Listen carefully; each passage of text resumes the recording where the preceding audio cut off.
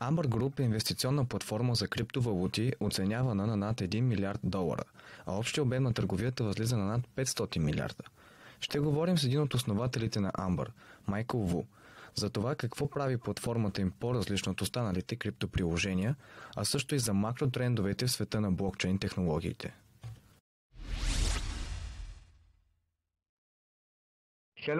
Здравейте, господин Ву. Благодаря ви, че приехте поканата за това интервю.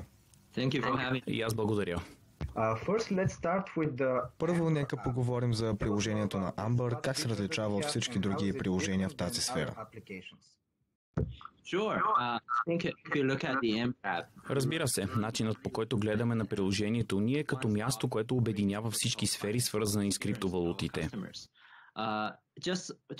Ако трябва да се върнем към началните години на Amber Group, ние започнахме с предлагане на услуги за институционални клиенти. Но това, което се опитваме да направим сега с приложението, е да предложим същото изживяване на потребителите, което институционалните клиенти имат institutional grade integrated crypto finance experience to global И общо взето на тази платформа може да се прави абсолютно всичко свързано с криптофинансите. Може да търгувате с криптовалути, ако имате нужда да купувате и продавате. Предлагаме голяма ликвидност и достъпност в цените. Може да депозирате крипто при нас при много изгоден лихвен процент, като вие избирате за колко време. Имаме и нещо наречено бонус към лихвата, а разработваме и други продукти, които в крайна сметка ще позволят на потребителя да получава по-голяма печалба.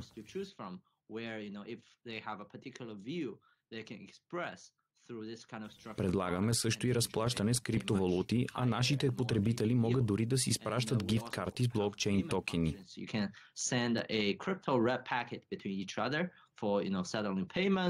or, or you know, as a, as, as a gift. Then, you know, Много скоро ще пуснем и дебитна карта, с която плащанията да са още по-лесни. В общи линии, мисля, че най-голямата разлика между нашата и други платформи е, че потребителите ни могат да се възползват от всякакъв вид функции на едно и също място. crypto finance experience. We really try to present the platform to our users where you know they can they can find all kinds of uh, functionality and services at one place. Говорейки за потребителите ви, споменахте, че започвате с институционални клиенти, а сега сякаш сте концентрирани върху индивидуални клиенти. Кое е провокирало тази промяна? Uh, so, so, like you said, uh, we started with, you know, the the uh, institutional side of things. Както казахте, започнахме с институционални клиенти и всъщност те все още продължават да са по-голямата част от нашата клиентска база и да формират приходите ни. Имайки предвид нашия бекграунд, компанията е основана от няколко човека, излезли от Морган Стенли, Bloomberg.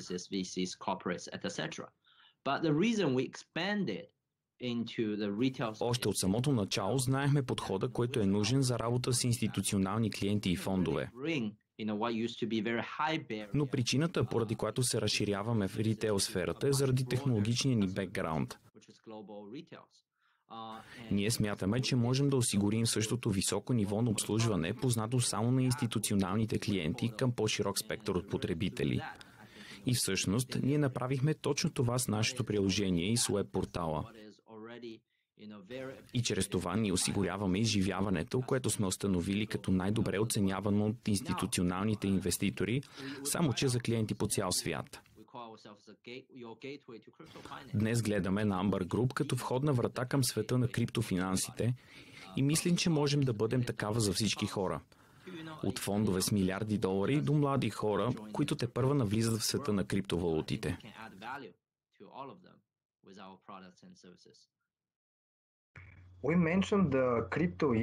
Споменавате за лихвения процент при депозити в крипто. Може ли да поговорим по-конкретно за техните стоености и различни ли са те при стабилните токени?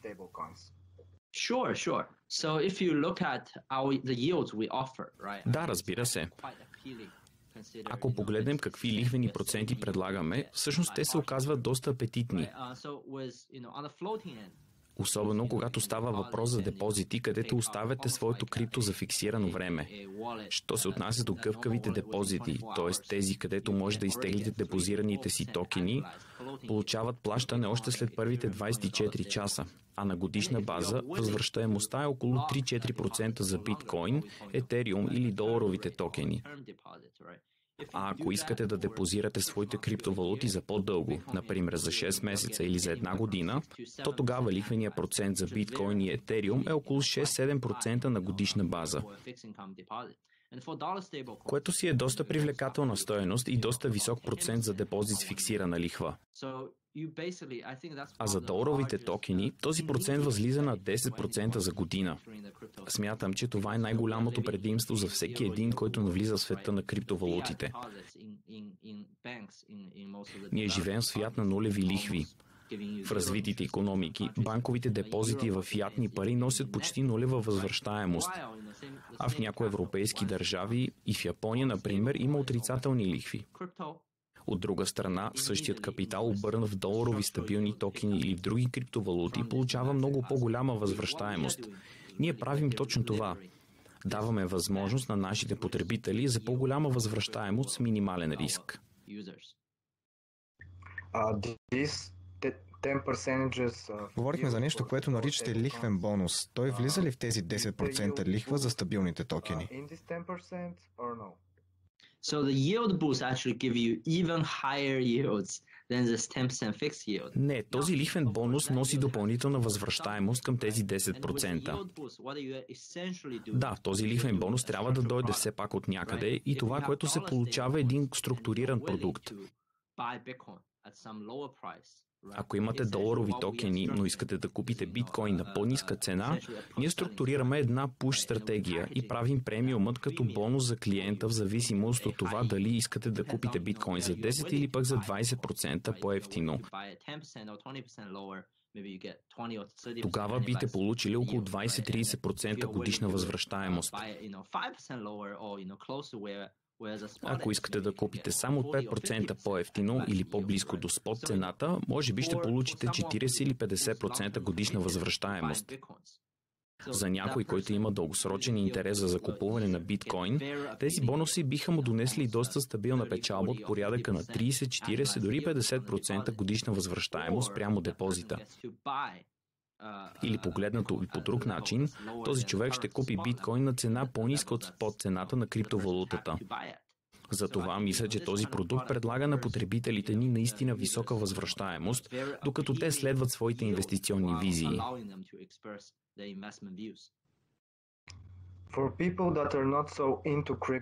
За хора, които не са толкова навътре в криптосвета, как ще му обясните начина по който се купува крипто на по-ниска от пазарната цена?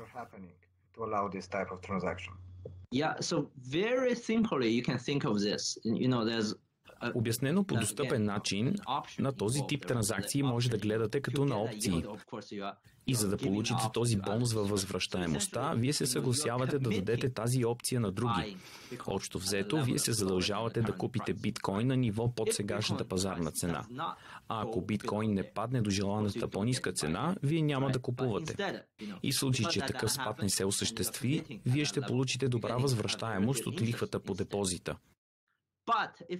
От друга страна, ако биткоин падне до желаните от вас стойности, може естествено цената му да се понижи и повече, но да приемем, че е паднало до зададените от вас стойности. Вие сте задължен да купите в такъв случай. Ако, например, биткоинът струва 35 000 долара, а вие сте задължени да купувате при цена от 30 000 долара, ако бъде достигната за месец напред. В случай, че биткоин ако биткоин не падне под целевата сума, вие получавате лихвата си по доларовия депозит. Но ако падне под 30 000 или по-низки стоености, няма значение, защото вие вече сте задължени да купите актива, когато достигне стоеността от 30 000 долара. Добре, мисля, че това изясни нещата за хората, които не са запознати с криптоплатформите. Кажете ни повече за това как съхранявате депозираните криптовалути на вашата платформа. That's a great question, I think. Uh, custody is a very essential element Това е страхотен въпрос. Съхраняването е много важен елемент в крипто в света, защото всички искаме активите ни да бъдат защитени. В този ред на мисли, ние държим на отговорно пазене на вашите активи, защото когато ги депозирате, ние ви ги дължим обратно плюс съответната лихва. Как точно съхраняваме вашите активи? Важното е да имаме много добър план за попечителство с диверсификация на съхранителите. Работим с много и различни партньори за съхраняването, с Coinbase Custody, с BitGo и други подобни партньори. Също така имаме наши вътрешни средства за съхранение, а стратегията ни е да разпределим активите на различни места по време на тяхното съхраняване. Що се отнася до съхранението на активи, нашата отправна точка е да не допускаме нито една грешка. И ако някой наш контрагент или партньор в цялата система се провали, ние сме създали така, че да не се отрази в общия план на нашите операции. За да го постигнем, наистина трябва да диверсифицираме организациите за съхранение и да сме помислили за всички възможни сценарии, които може да се случат. Uh, Говорейки се за криптовалутите и децентрализираните финанси, няма как да не ви попитам за вашите възгледи относно бъдещите макротрендове в блокчейн света. Разбира се. Мисля, че има няколко много силни тенденции. Естествено, аз съм почитател на криптовалутите. Те вече се приемат като клас актив и тяхното приемане от широката публика ще се случва дори още по-бързо от сега нататък. През 2020 видяхме как институциите навлязоха на криптопазара и започнаха да приемат блокчейн проектите сериозно. Мисля, че този тренд не може да бъде обърнат и според мен криптовалутите ще станат още по-широко възприемани. На второ място, хората разбраха, че биткоин не е просто дигитално злато или средство за съхранение на стоеност. Криптовалутите като финансова технология имат много голяма стоеност. Децентрализираните финанси са доста силна иновация, която решава много от проблемите, които традиционните финансови институции не можеха да решат. А криптовалутите наистина донесоха много стоеност и промени за традиционните финанси, които честно казано в този момент изостават в технологично отношение. Тази тенденция ще продължи и ще набере скорост. Хората започнаха да разбират, че ако плащат с криптовалути, това става бързо и ефтино и няма нужда да чакат банката да отвори врати, за да го направят. Last trend I, I think is, you know, I think uh, with the Друг тренд, който откривам е, че с младите поколения като милениалите и поколението Z, те са дигитални още по рождение. Ние се придвижваме към дигитален свят. В такъв един свят криптофинансите ще се възприемат като нещо нормално, защото в дигиталния свят нещата трябва да се случат по дигитален начин. Everything in the digital world essentially is data. Всичко в дигиталния свят са данни. Имаме нужда да използваме тези данни като актив и средство за транзакции, а криптофинансите са идеалният начин за всичко това.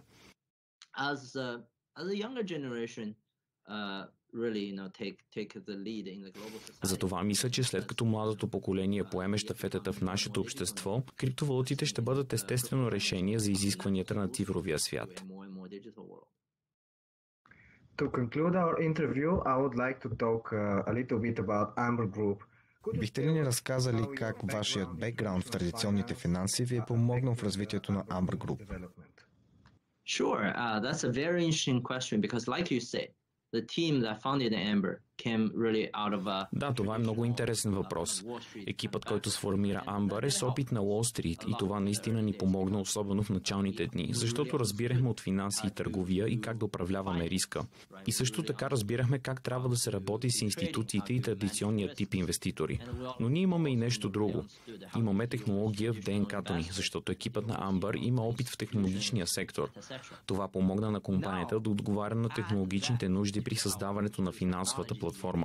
И благодарение на това знание можехме да построим платформи за клиентите ни, които да предлагат същите условия, които имат институционалните инвеститори. Okay, so you have the experience Окей, okay, споменахте, че имате опита както технологичен за създаване на платформа, така и опита с институционалните клиенти. Но кажете ми тогава, какви са вашите стратегии за привличане на нови клиенти? This is again a wonderful question because uh, to me, actually, how I think about this is, you know, още един страхотен въпрос. За мен начинът по който гледам на това е чрез въпроса от какви продукти се нуждаят нашите сегашни или бъдещи потребители и как да им ги доставим. Аз вярвам, че ако осигурим такива услуги, по естествен начин ще дойдат все повече клиенти. Естествено, трябва да се занимаваме и с маркетинг и с локални дистрибутори, за да сме сигурни, че хората чуват за нас. But in the end of the day, I think the best product wins. You know, но в крайна сметка, според мен, най-добрият продукт побеждава. Потребителите са достатъчно умни да се спрат върху платформата, която им дава най-добрите условия и възможности. Те биха казали и на приятелите си и така повече хора биха стигнали по естествен начин до платформа като нашата, която им помага да постигнат техните инвестиционни цели и да отговори на техните финансови нужди. А след време ще станат и лоялни клиенти. Благодаря ви за интервюто, господин Ву. Много благодаря за поканата.